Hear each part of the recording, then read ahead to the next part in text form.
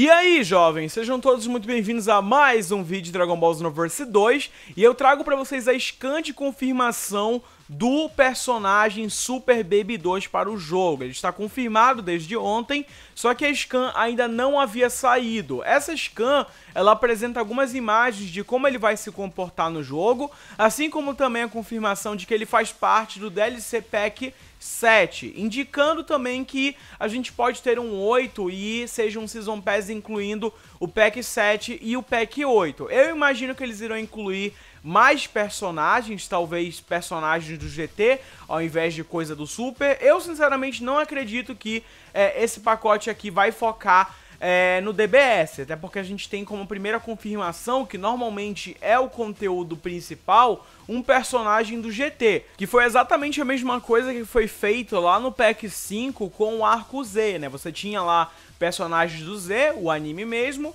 e alguns dos filmes do Arco Z também, como o Tapion. Então você teve esse foco. Eu imagino que o foco aqui poderá ser o GT, mas não descarto a inclusão de alguns personagens do Super, ou nesse pacote, ou é, talvez no possível pacote de número 8. Até porque eu acredito que eles não vão lançar apenas mais um DLC, mas sim vão fazer é, mais um Season Pass, até porque não se chama DLC diferente, não tem um nome diferente chama apenas é, DLC 7, não chama de edição definitiva, não destacam isso, o que dá a entender que nós teremos mais DLCs, não vai ser o último DLC do jogo aqui, o que é bom ou ruim dependendo do seu ponto de vista. Em relação aos movimentos do Super Baby 2, nós vemos ele utilizando várias é, esferas de Ki ali, né, remessando vários poderes, uma outra dele se aproximando rapidamente do Time Patroller, né, um ataque mais físico, aparentemente isso aqui ele é um ataque novo para o personagem, e por último, um ataque mais direcionado com o Ki, que lembra,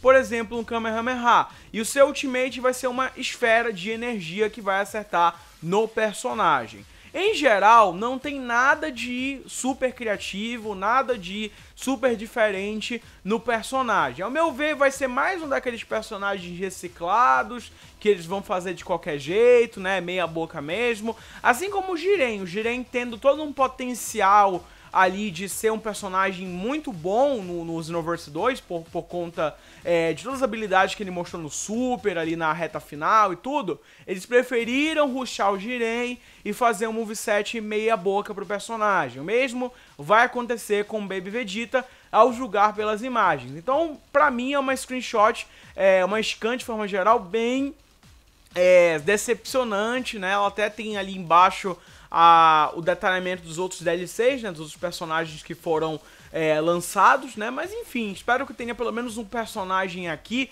mesmo que seja do, do GT, que tenha um nível de produção, por exemplo, de é, Goku Black, ou então o Goku Instinto Superior, até mesmo o Vegito, que é um personagem é, bem legal. Espero que seja essa pegada que eles vão apresentar, porque fica complicado, né? Acredito que não adianta você ter um grande conteúdo e na hora esse grande conteúdo que você tem não apresentar uma qualidade muito grande, né? Como eu falei, eu, na minha opinião, acredito que seja desnecessário a essa altura do campeonato a gente focar em conteúdo do GT. Eu sei que muita gente quer esse conteúdo, eu sei que não é a maioria do pessoal que quer, porque a grande maioria quer conteúdo do Super, e isso é fato, se reflete tanto é, aqui no canal, como também é, eu vejo em canais gringos, né? Então foi esse o ponto que eu fiz no último vídeo, que algumas pessoas, eu vi certos comentários, não interpretaram, né? E eu acho que não foi tão claro como eu deveria, mas é, é essa questão. Acredito que é, você poderia ter sim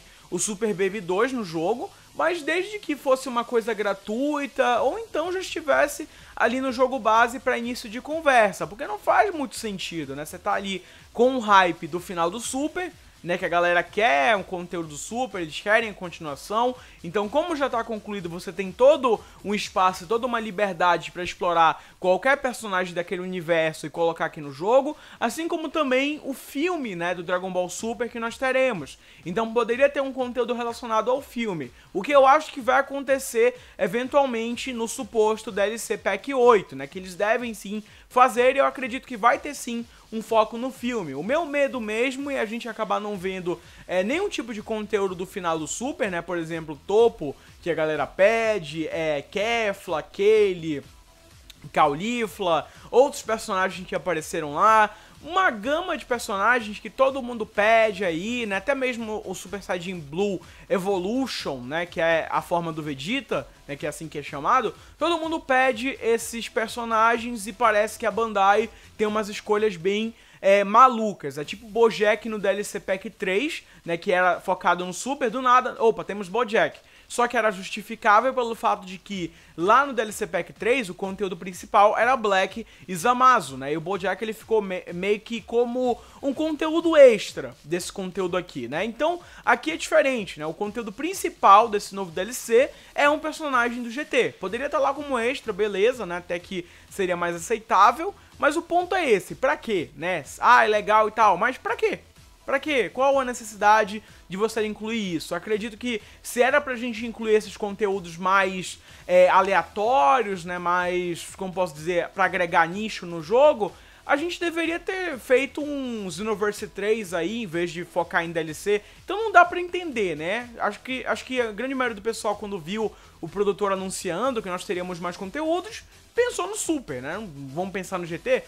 Estranho, né? E fora que o GT já tem ali no jogo, a grande maioria dos personagens principais estão ali. Então era muito fácil eu colocar um DLC e incluir o Baby lá é, como um extra, sei lá. Ainda tenho esperança de que a gente veja personagens do Super é, mesmo aqui nesse DLC, mas enfim, fica complicado defender uma coisa dessas, né? Fica complicado também é, eu ver esse moveset aqui e não achar reciclado, porque é, claramente é, né? Olhem aqui, não tem capricho. Ah, mas ele tem habilidades que são iguais e tal. Pô, beleza, mas você pega Fighters aí, por exemplo, que claro, é um gênero de jogo totalmente diferente e por ser mais hardcore vai ter um foco maior, a gente sabe disso, mas dando um exemplo mesmo, você vê que é um ataque lá que ele é semelhante, ele pode ter um desdobramento completamente diferente dependendo da animação. E eu nem vou muito longe, pegue até o Storm 4, que é na pegada mais casual, semelhante ao Xenoverse, né? Ele faz ali, ele tem uma criatividade de produção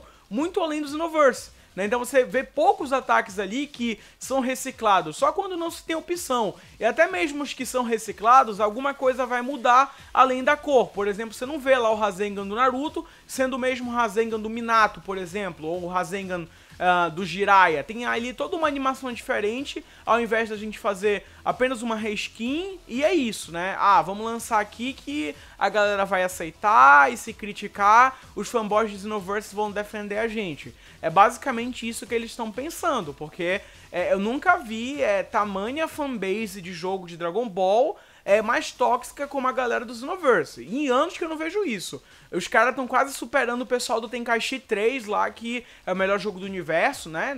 Enfim, é um jogo muito bom, mas não é o melhor jogo do universo. A questão é essa. Então é isso, né? Espero que vocês tenham gostado do vídeo, né? É minha opinião, né? Se você tiver uma opinião diferente, claro, comente aí, né? Apresentando seus argumentos, é sempre bom uh, a gente ver isso, mas que fique claro aí o que é opinião e o que é, é fato em relação a esse jogo aqui. Um grande abraço e até a próxima, jovens. Fui!